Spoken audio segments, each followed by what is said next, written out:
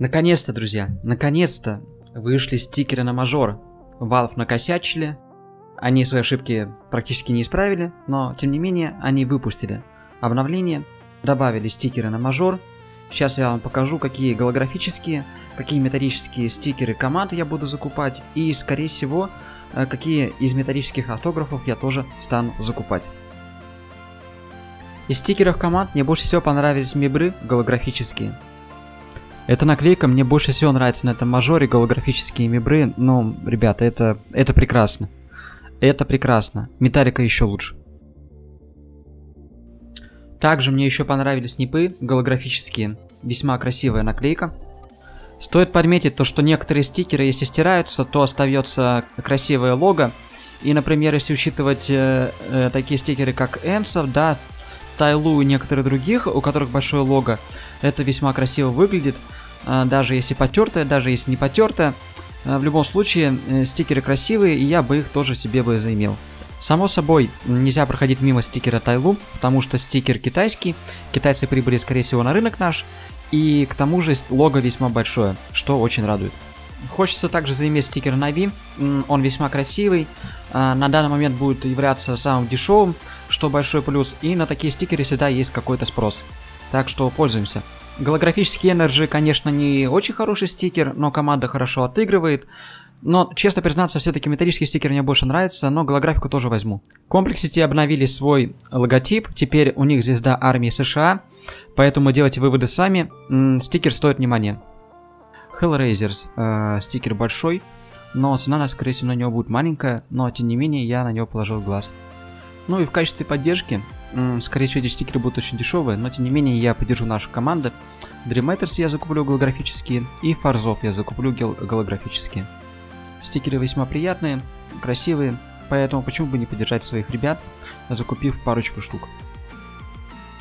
Если рассматривать металлические стикеры, э, то мне очень приглянулись мибры железные, опять же. Я не знаю почему, но мне кажется, что эти стикеры все будут востребованы этой команды, голографические железные. И также хочется отметить э, наклейку Sports. Э, весьма интересно переливается, весьма интересно выглядит со стороны. Поэтому почему бы тоже их не прикупить. Энсы металлические. Тоже очень хороший вариант. Э, потому что, опять же, наклейка большого размера и хорошо переливается в виде металлики. Energy металлические я очень уверен, что я их возьму в некотором количестве. Весьма интересный экземпляр, весьма интересно смотрится. А, Нипы металлические тоже весьма хороший стикер. Иногда кажется на свету он приливается золотым светом. Simon Gaming, кстати говоря, извиняюсь, если я неправильно произношу название некоторых команд, некоторых игроков. Английский у меня на уровне третьего класса, если честно, так что не парьтесь. Стикер этой команды металлически тоже весьма прекрасно выглядит. Белый цвет э, на металлике очень красиво переливается, и я бы его с удовольствием себе бы тоже заимел. Тайлу металлический. Само собой, он тоже будет всегда востребован. А, но он будет, наверное, дорогой. Но, тем не менее, я, может быть, его и тоже прикуплю. Ну и, само собой, хотелось бы поддержать наших соотечественников, а, купив фарзов. Кстати, фарзы металлические очень даже получились, что мне более чем даже нравится. И хотелось бы отметить также наклейку Crazy, металлическую. Это хоть и сербская команда, но металлические стикеры этой команды выглядят весьма и весьма сносно. Друзья, также хочется добавить то, что я буду закупаться голографическими стикерами, если они упадут ниже 30 рублей. Возможно, какой-то интересный металлик, если она будет слишком дешевая, тоже я закуплюсь.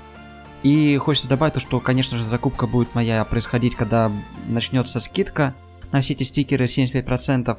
А, эта скидка начинается в момент, когда будет происходить финал мажора, а, когда уже все ставки будут закрыты на финал. В связи с чем, получается, через 3-5 дней после начала скидок э, цены более-менее стабилизируются, и уже именно тогда будет примерно понятно, какой стикер имеет примерно какую цену. А, от чего можно будет отталкиваться и примерно по этой цене закупаться. Главное, чтобы не было слишком долгих, получается, у нас э, скидок на этот мажор. Но я сомневаюсь, что так будет. Ну и начиная с автографами, да, я хотел бы показать вам автографы игроков, некоторых э, ребят, которые сделали их очень оригинальными. И, наверное, начнем с Лизы из команды Ренегадов. Также мне понравился автограф из Гринхауда, нового игрока. И, наверное, Стаслава из Дримейтерса. Также хочется отметить Кинга и Торика. И в целом хочется сказать, то, что я, наверное, увидел не все интересные автографы. Пишите комментарии, которые я пропустил. А, и вам тоже не показались весьма интересными, весьма красивыми, как минимум оригинальными. Ну а что касается остальных стикеров игроков, я буду закупать автографы команд, которые последние месяцы имеют хорошие показатели и не входят из топ-15 команд мира. Отдельное внимание я хочу уделить автографам игроков команд Liquid.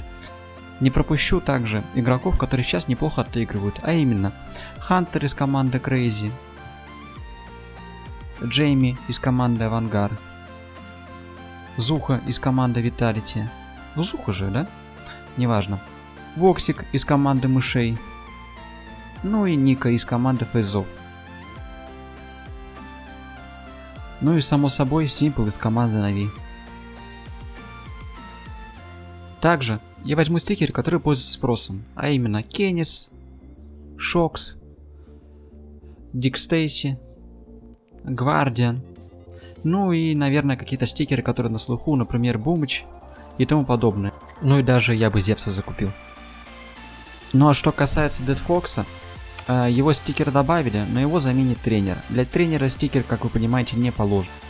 Калдира ушел после формирования состава на мажор, поэтому его стикер также присутствует на этом мажоре. А также я бы закупил автографы всех игроков, чьи команды дойдут как минимум до полуфинала. И, наверное, если какие-то игроки будут выделяться в течение мажора а, своей хорошей игрой, также хотелось бы закупить их стикеры.